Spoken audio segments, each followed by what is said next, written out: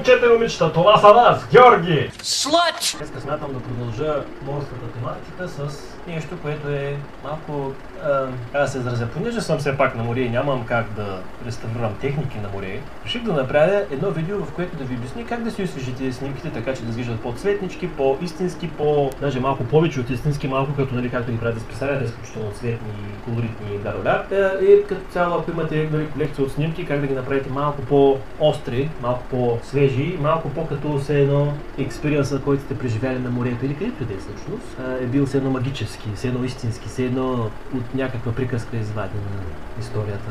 Мисля, че изпаднах отново в излишни приказки. Така,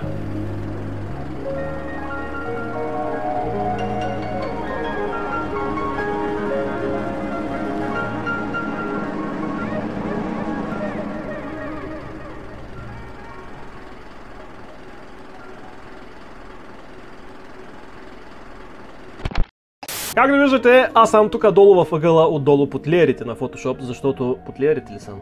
Да, под леерите съм. Хо-хо-хо. Това е така, защото аз вече съм а, част от Photoshop, аз съм плъгин. Замествам а, нещо от сорта на Paperclip в Word. Замествам тази функция. Досадник, като цяло, който никой не иска. Тъй. Днешната морска тема, която нали, продължавам морската тема като цяло, ще бъде как да си направим снимките по-цветни, по-свежички и се надявам това да бъде кратко видео, защото смятам да не спадам в някакви грандиозни подробности. Да, сега, това са неща, които хората, които е, е, използват Photoshop ги знаят, но искам да ги споделя с тези от вас, които не разбират толкова от Photoshop, да знаят, че е възможно. И това е да обработим снимката през камера RAW, която и да е снимка, не задължително да бъде... Не, не мога говоря. Не задължително да бъде RAW формат, може да бъде всякаква снимка от телефона ви, от скриншот, от видео, ако ще да е, каквото ще да е всъщност. А, и да направите снимката малко по-свежа, много, много по-цветна, даже излишно цветна може да я направите, да промените всякакви параметри до една такава високо професионална нотка и Снимката, която смятам да използвам днес е следната.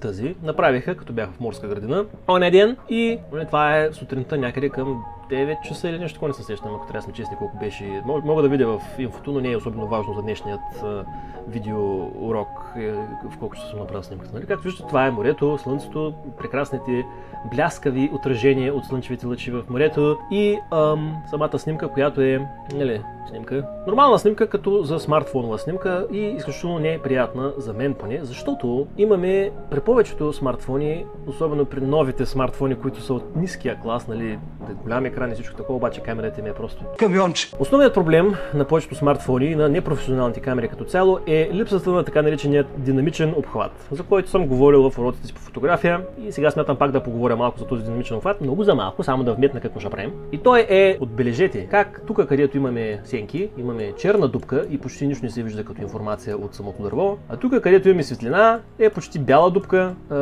при някои фотоапарати даже и небето ще е абсолютно бяло, което е, дали, все пак съм използвал HDR мод, ако беше на обикновена автоматична снимка, ще да стане чето бяло небето, сигурен съм. Използвах HDR мод на снимане на фотоапарата, който за тези от вас, ако не знаят какво е HDR, представлява фотоапарата прави три снимки една след друга. Една с слаба експозиция, една с нормална експозиция, една с силна експозиция. Сиреч, едната е тъмна, другата е нормална, третата е силно осветена. И фотоапарата прави от трите изображения, нали, хардуера и софтуера, едно изображение, в което взема от всички снимки хубавото, нали, там където нямаме преекспонирани или, или недоекспонирани и прави това, което виждате. Като резултата някой път е такъв, че тук има някакви около дърветата ни сияния, нали, дървото ни свети по принцип, но има някакви такива ни леки нали, да, но е много по-добре, отколкото да направите автоматична снимка, която е сенките чисто черни, а пък светлината е абсолютно бяла. Не знам, виждате ли, тук в средата примерно е много по-синьо, отколкото по краищата има едно такова леко като, като outer glow. Така, и тази снимка сега ще я използвам. Това е JPEG снимка, обикновена снимка. Не е защото снимката да бъде HDR, може каквато е, казвам пак, всякаква снимка върши работа. Сканирана снимка, примерно от скенер или пък скриншот от видео, а, всякакво изображение, каквото и да е. Стига да мога го обърнете в JPEG или в TIFF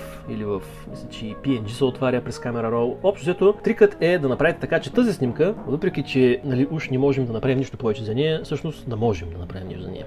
И провлачваме я в Photoshop, както виждате. И какво можем да направим за нея? Можем да направим примерно Ctrl L, да включим левелите и да бутнем примерно малко левелите, ето така.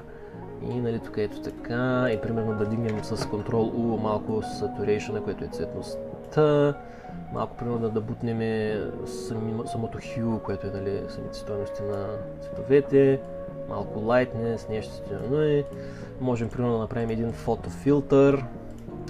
който да вкара малко повече топлина, после си караме на то пък стана много топло и правиме с контрол, момент, че толкова съм станал механичен, че не знам вече какво правя. С контрол B, color балансът на всичките тези сенките, средните стоености на високите стоености и примерно тук сенките стоености ще ги направя леко по-синкави, пък сенките трябва да са много сини, пък топлите стоености, примерно високите стоености, искам да кажа, силните са топли и примерно правим едно такова изображение и си казваме да, обаче горе-долу е, имаме някакъв винтидж ефект. В смисъл, това е едно снимано с полуриден фотоапарат и Нали, все пак не сме извадили кой знае колко информация от дървото. Тук, примерно, ето вижте оригинала, какъв е наистина доста по-добре, значително по-добре, но някак си е много стои изнасилено, извинявам се за лошата дума, която използвам. А, пясъка е някакъв магентесто червен, изобщо това не е на пясъка. Морето е някакво синьо, ама с доста топли стоености вътре в синьото. Въобще е някакви излишни топли стоености, които ни звучат много добре. Можем, ако продължим да си играем, примерно, да сложим да, малко Unsharp Mask, който е нали, изостряне на кадъра, обаче като дигнем радиуса с повече от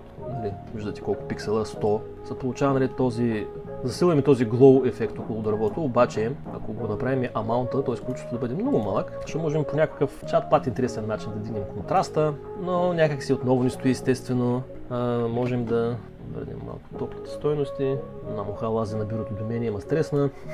Мога да пробваме аутотон, какво ще направи или пък аутоконтраста, какво ще направи. И общо взето стигаме до там, че много, много не можем да направим кой знае какво за снимката. Ето това е резултата. И аз лично мисля, че преди тези uh, Unsharp Mask манипулации е резултатът, който търсим.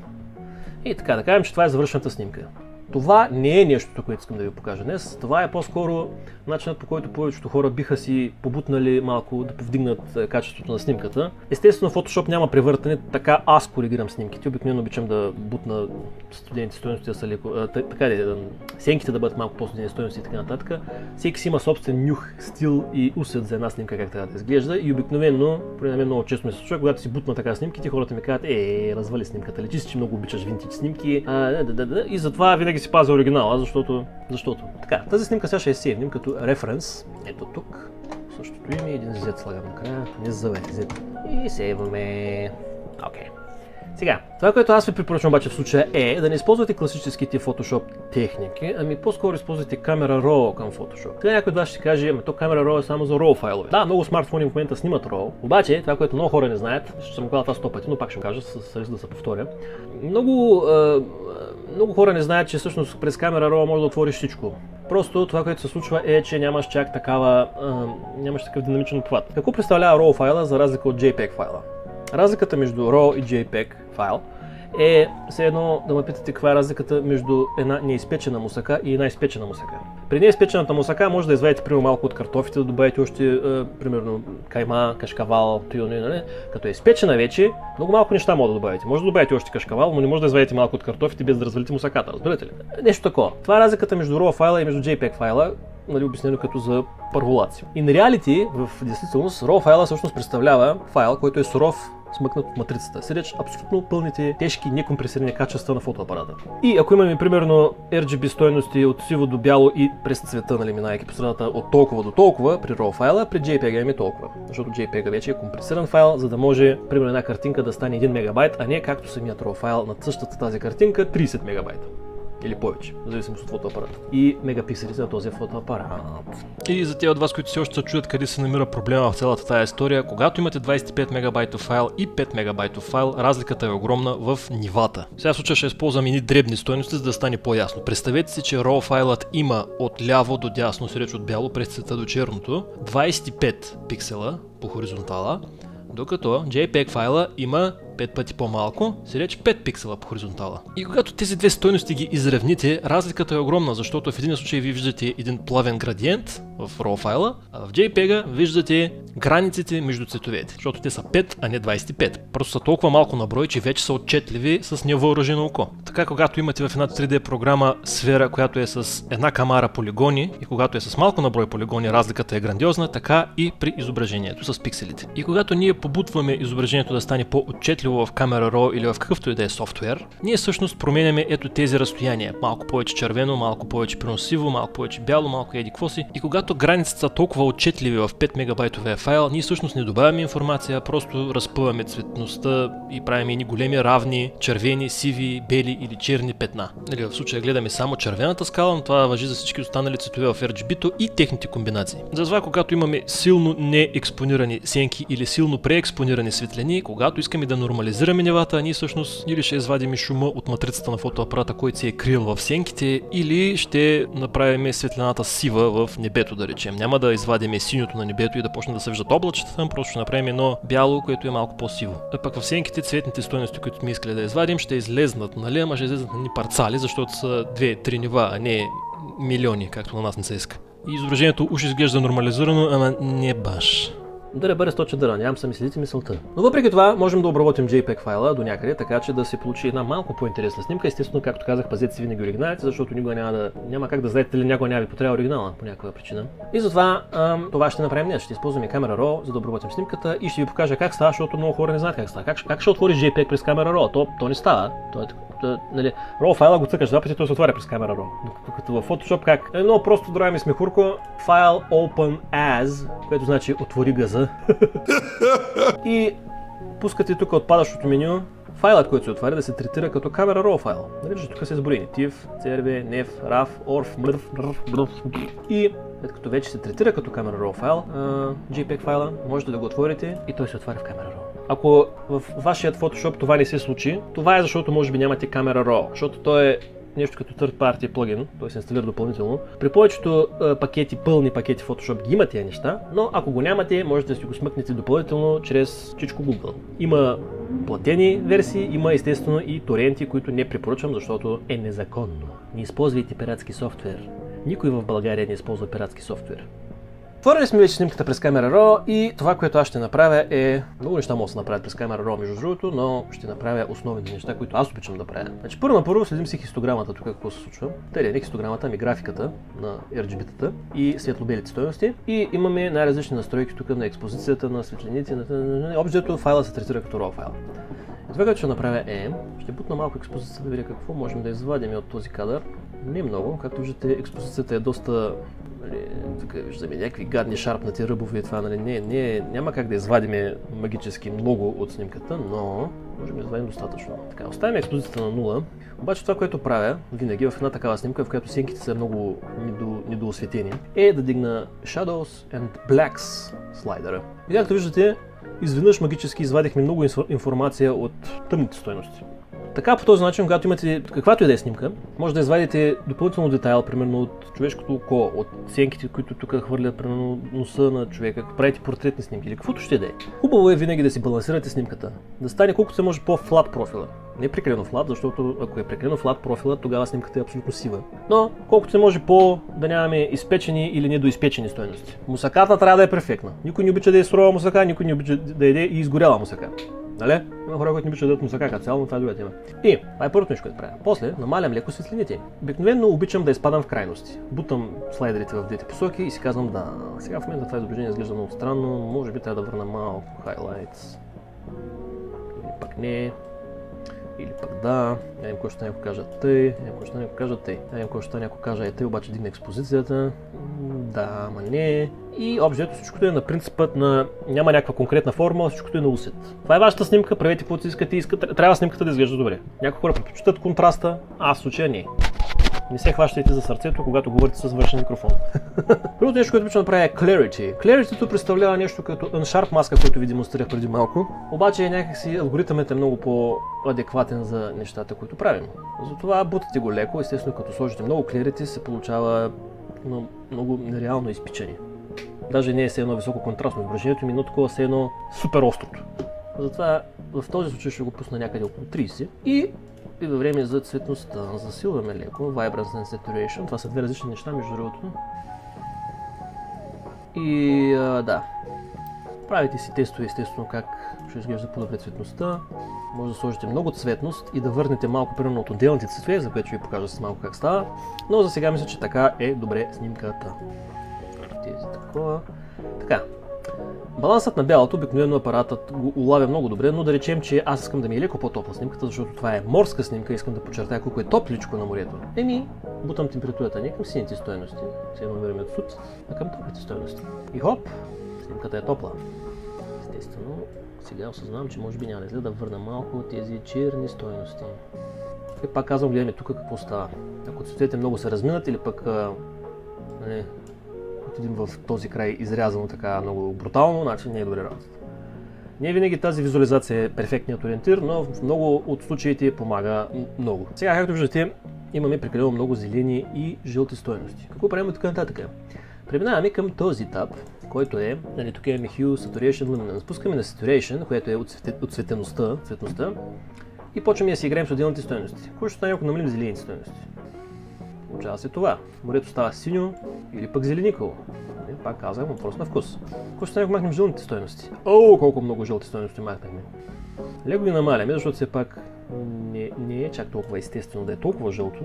И почваме да си играем с оранжевите стоености, които можем да сложим с една идея повече от тях, за да може за да подчертаем колко е оранжев и топъл пясъкът въпреки че бургаският пясък е не чак толкова топъл, колкото да речем този на Слънчев бряг. Червени стоености би трябвало да няма никакви проблеми с тях. Единствената червена стоеност е в заключвалката на велосипеда ми, така че понеже е много изпечена, ще я намаля, така че да изглежда нормално червено и толкова. Между другото, винаги ще имате проблеми с хора, които имат ярко-червени половери или нещо такова, или пък ярко-червени коли на снимките, защото червеното е много пробиващ цвят.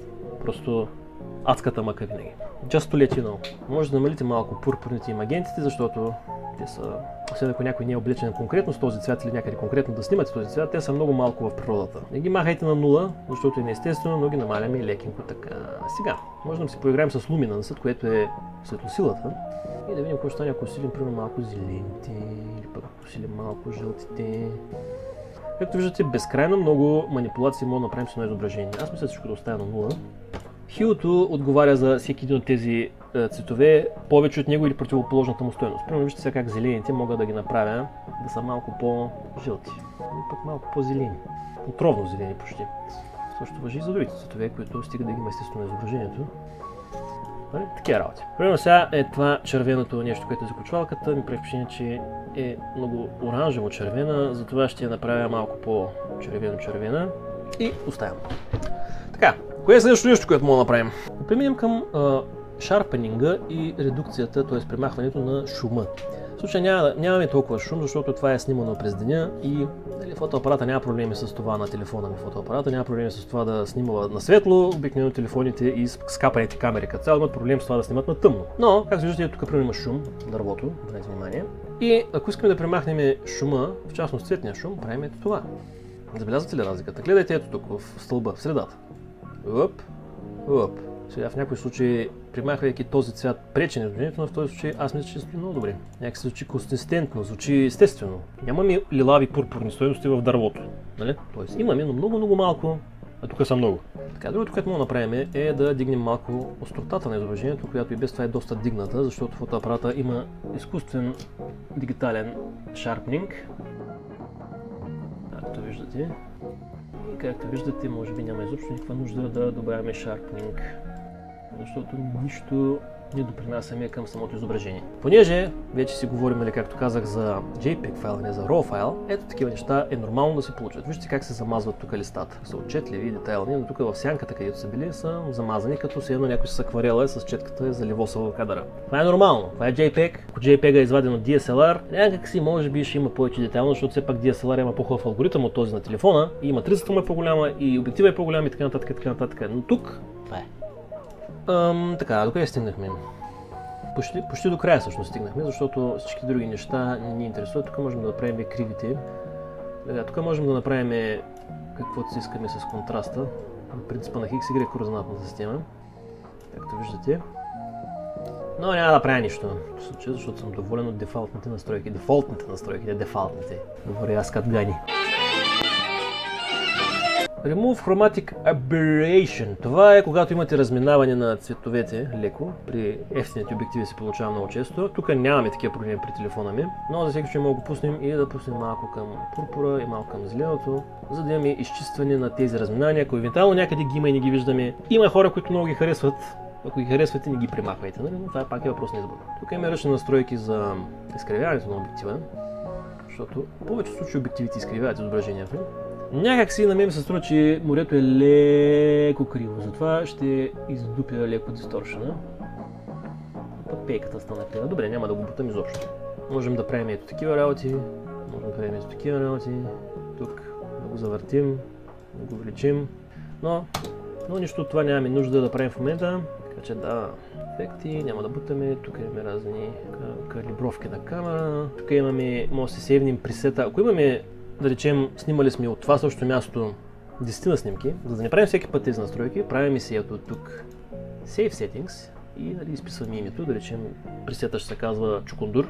Правим пресета и всеки път, вместо да правим настройките наново, просто зареждаме пресета и снимката е готова. Естествено, малко ще трябва да попутнем, но е много по-добре малко да попутнем, отколкото да започваме от начало всеки път. Това е като цяло си сейвниш играта. Същата работа. И снапшоти не ме интересуват. Така. И готови сме. Сега, за последно ще си помисля малко дали няма пусна леко магиента, да имаме някакви по-такива червени далисти стоености. По-към синьото, по-към зеленото, по-към кафялото, по-към пърпърното. Така. И мисля, че мисля, че снимката е готова. Извадихме деца вика, колкото се може максимално информация от тази снимка. Стана даже нереално, нереално красива, малко даже отвратителна. Много хора не харесват такъв тип обработване, особено професионалисти, но аз не съм професионалист, така че eat me. Fuck, I mean no. И след като сме приключили тук с камера RAW, натискаме Open Image. Тук между има доста още неща, които са, ще направят видеото ми прекалено дълго, така че път ще говорим по тази тема. Даваме Open Image и вече изображението е отворено в Photoshop, така както се отваря директно JPEG в Photoshop.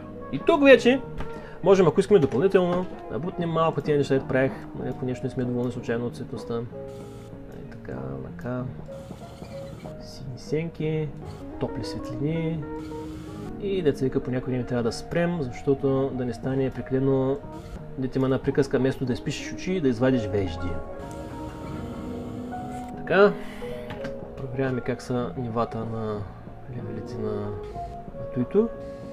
Така.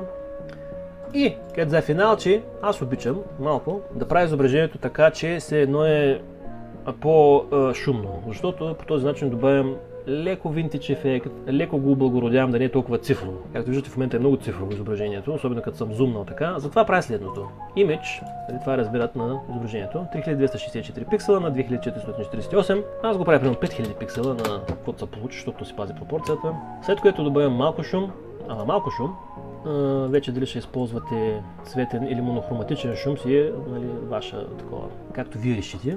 И мисля, че 5 ще му е достатъчно. Не, 10, 8, 7. 7, да. И след това давам блър един път. И пак връщам изображението на 3000 и какво беше? 3300. И преди беше така, а сега е така. Някак си като има шум в тези заливосаните стоености ето тук, на мен поне по-ми харесва, въпреки че ние всъщност изяждаме от детайла по този начин, особено в чистите стоености в небето, вижте за какво става въпрос. Създаваме го, правим го много шумно, но за някои такива едни ситуации като тази е просто много добре. И ако искате, примерно, можете да, да върнете с History Brush, който не работи, защото има различно изображение.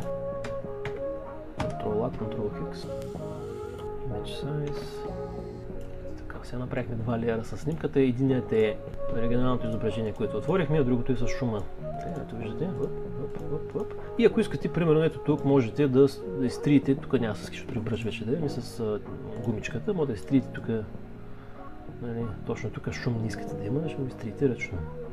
Так. Аз обаче искам да има, така че фотвам изображението, защото има два леера. И а, това е готовото ни изображение. Сега ще го сейвне, ще направим съпоставка с трите варианта, които вече имаме. Да се каже Z, това ще се казва 2 пъти Z. Така, и това е финалният резултат. Мисля, това е оригиналната снимка. Финалният резултат е следният. Оригиналната снимка, тази, която манипулирахме първият път, и камера RAW снимката, последният вариант. Вижте каква е брутална разликата между оригинала, с който сме били доволни, защото нали, снимаш и си кажеш, а, ето снимка, да, готово, и обработеният вече вариант. Цък, цък, цък, Цък.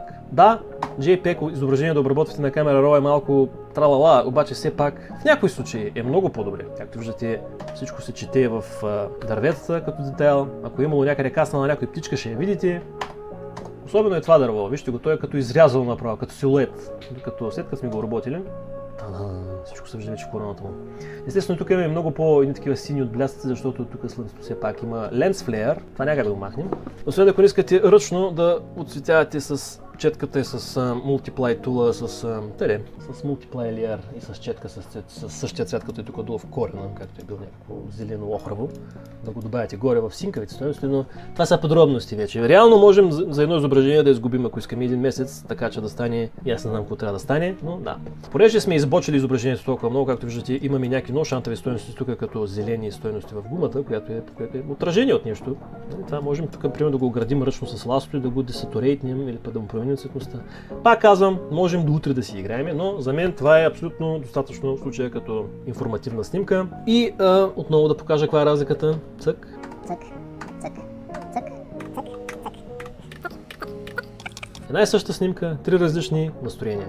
Естествено, можем да направим хиляда различни настроения, защото всеки си обработва снимките по различен начин, както казах в самото начало на клипа. И това е. Надявам се, че научихте нещо интересно. Надявам се, че тези от вас, които използват камера RAW за RAW изображения, са научили тук що от мен, че о, Верно, че може и JPEG снимки да използваме, да отваряме.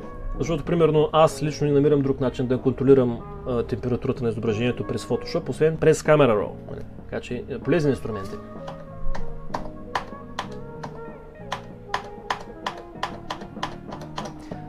Окей, okay. това беше всичко от мен. Надявам се, че ви беше интересно. Момент да разпъна малко изображението, съм по-детайлен. Това беше всичко от мен за днес. Надявам се да ви беше интересно. И ще се видим следващия път, когато Бях овчарче. Когато и аз не знам какво ще кача. Чао, чао!